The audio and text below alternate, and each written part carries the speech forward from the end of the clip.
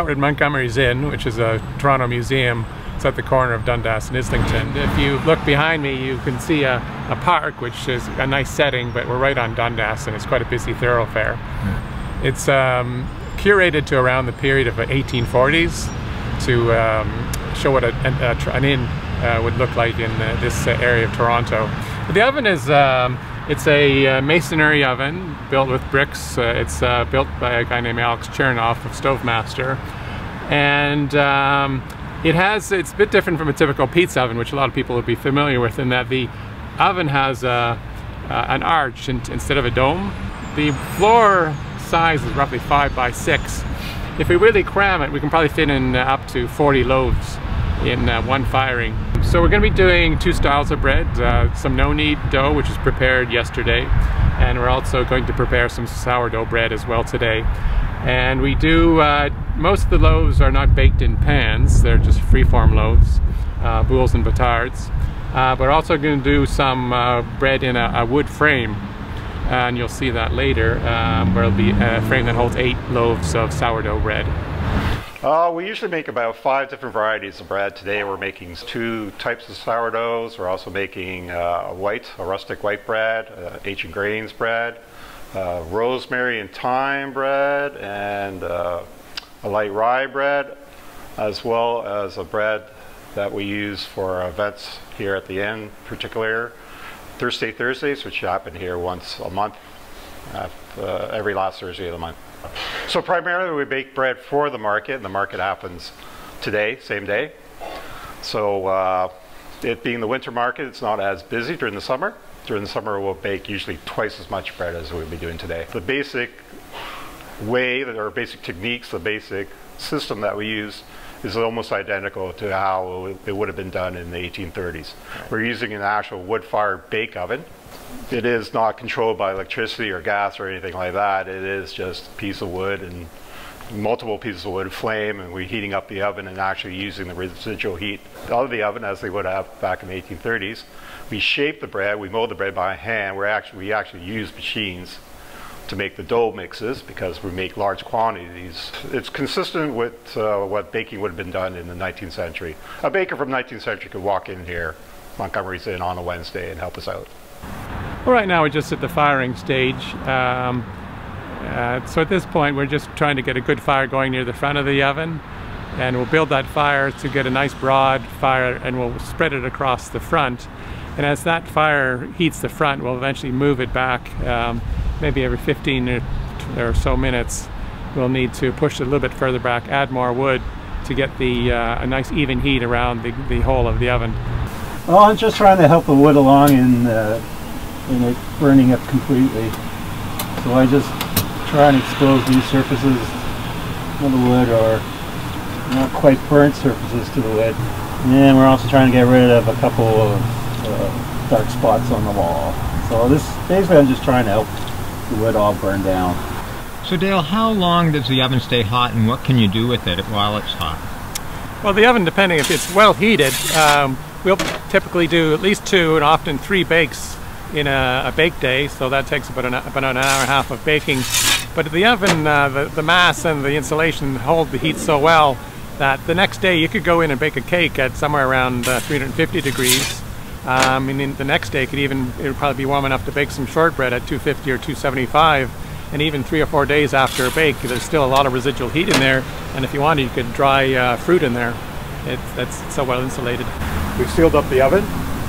So what that'll do is uh, kill the fire and any any embers inside. Wait a few minutes, and then I'm gonna scrape out all the old coals and embers, and then we clean out the floor of the oven with uh, a damp mop. So you're raking out the oven? Raking out, uh, raking out the coals and the ash. Thank you.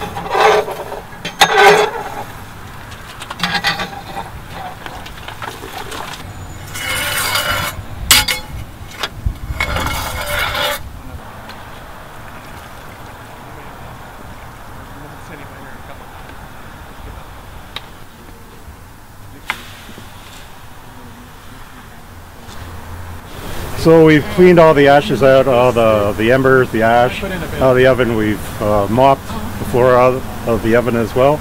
So we seal it up against just to help uh, let the oven rest, just to even out the temperature o- over the whole, whole oven. And the next step we'll do is we'll actually bake in a few minutes. This is your favorite part? Oh yeah. it's better in the summer when it's warmer and you can kind of like sit and relax on the grass. We're good. Five minutes, Anton, right? Five minutes, yeah.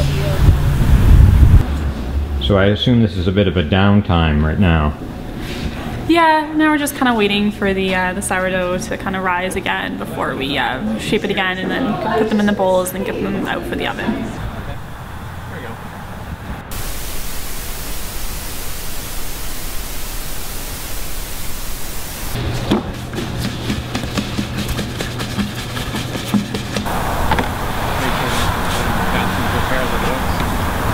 Each loaf is given in flats, and we have different shapes. So we need to look up three minutes. We have two left.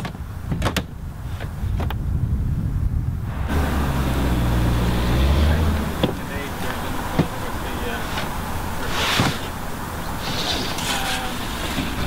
uh, So why the different slashes? It's to make it easier to identify for sale.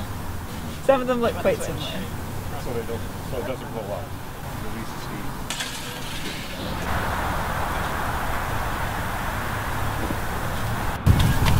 Well, those guys downstairs are just hanging around now. No, they're gone.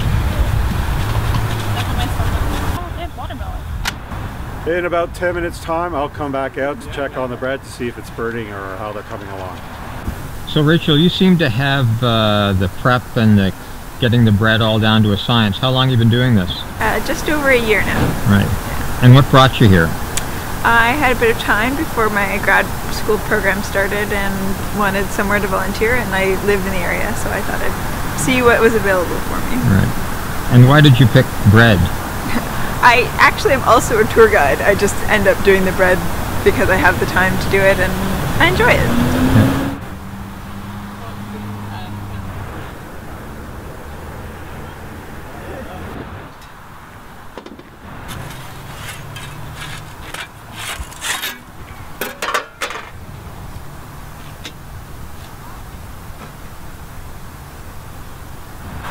So we're finally done. Uh, this one, yeah, this load is uh, baked.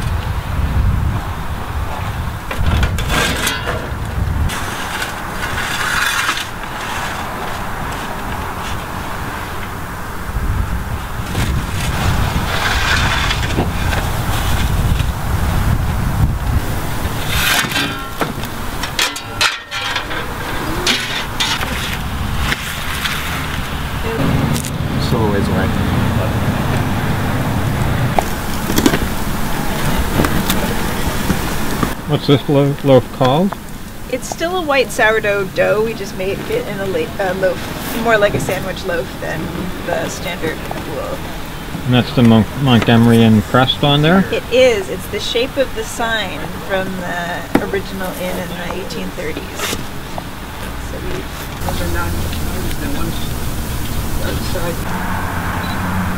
Very busy thoroughfare. That's it. So Rachel, how does it feel once you've spent the day baking to actually see the bread on sale?